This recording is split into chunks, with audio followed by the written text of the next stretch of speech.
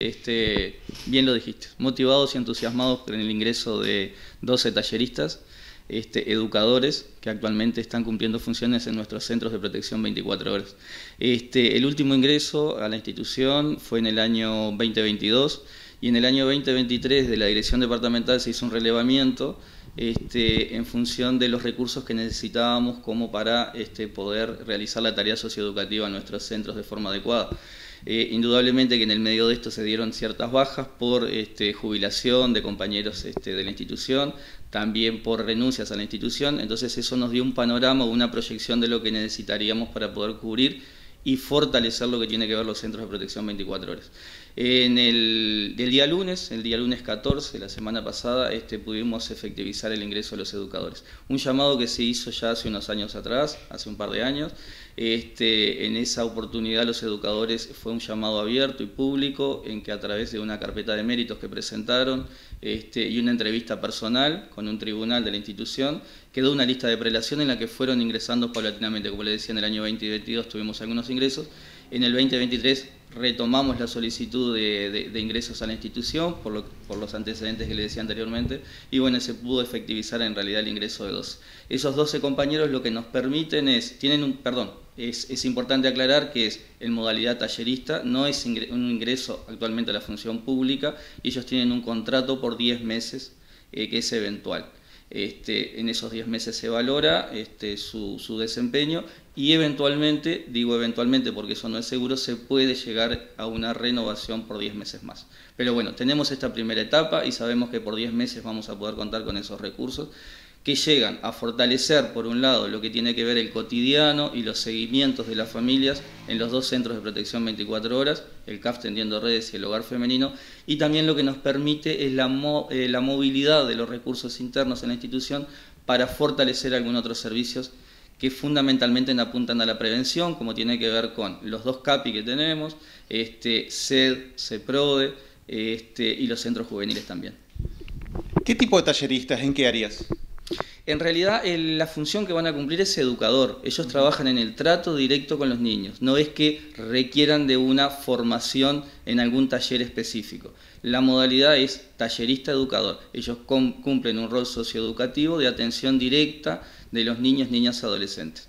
Como bien les decía, este fue un llamado que se hizo a través de presentación de una carpeta de méritos y una entrevista personal.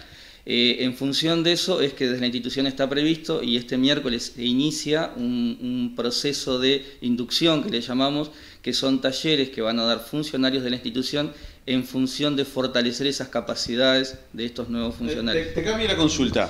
Eh, en este seguimiento, ¿qué áreas se pretenden ustedes o cuál es la orientación ¿Qué se pretende trabajar con estos talleristas?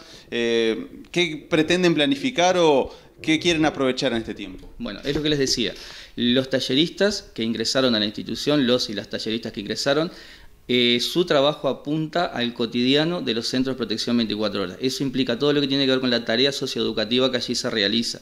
El cotidiano implica el acompañamiento de los niños, niñas, adolescentes en la tarea cotidiana, en lo que tiene que ver con educación, este, el acompañamiento cuando salen a realizar una actividad fuera del centro, dependiendo de los procesos de autonomía, e inclusive este, el seguimiento a aquellos niños, niñas, adolescentes que se encuentran en contexto familiar, que están viviendo con sus familias, pero que están dependiendo de, un, dependiendo de un centro de protección especial.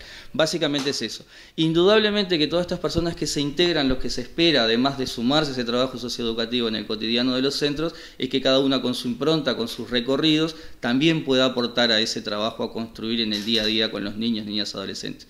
Dicho de otra manera, si la persona que ingresa tiene habilidades para la música, lo que vamos a esperar, además de esa tarea socioeducativa, a modo de ejemplo, ¿no?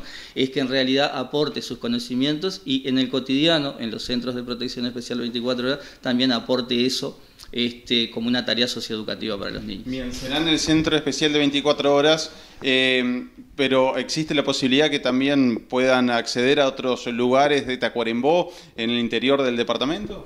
Bueno, en esta oportunidad los, los ingresos que se dieron van todos para el sistema de protección 24 horas, que es donde debemos de fortalecer. Como les decía, en esta movilidad que nosotros esperamos hacer con los funcionarios, algunos funcionarios que ya están en la institución pueden llegar eventualmente a trasladarse a otros centros eh, de tiempo parcial que le llamamos para fortalecer esos centros.